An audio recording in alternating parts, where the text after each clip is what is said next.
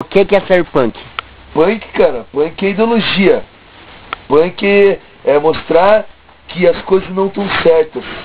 É distribuir panfleto, de fazer movimentos contra a, contra a política que nós temos hoje.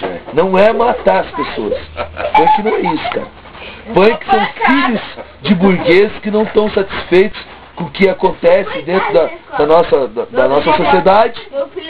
São contra aquilo ali, aí vão usar uma roupa, alguma coisa que não tá, que é contra aquela ideologia. Isso é ser punk. Punk não é matar por causa de 40 centavos. Punk não é agredir ninguém. Punk não é isso. Por isso diz a palavra punk. Punk significa madeira podre. Ser ao lado ao contrário do que está pregado por aí. Isso é ser punk.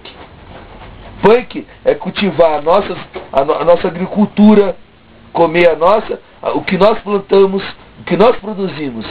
Não engolir o que os americanos enfiam goela abaixo. Tudo que os americanos fazem de podre lá, enfia, nós temos que comer goela abaixo. Isso é ser punk. Isso é ser Marcelo Nova.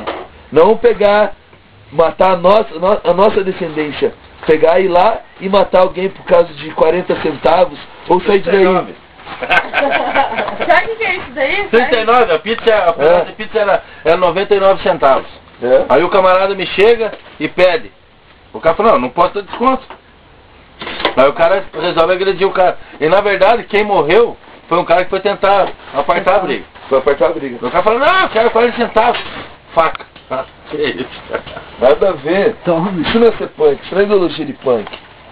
Cara, ideologia de punk, cara. A, a, a- você vê Filho, vai mais uma gracinha, hein? Sex Pistols, cara, fazendo punk. Dead Kennedys fazer punk. Entendeu? Os caras com uma ideologia de, contra a guerra.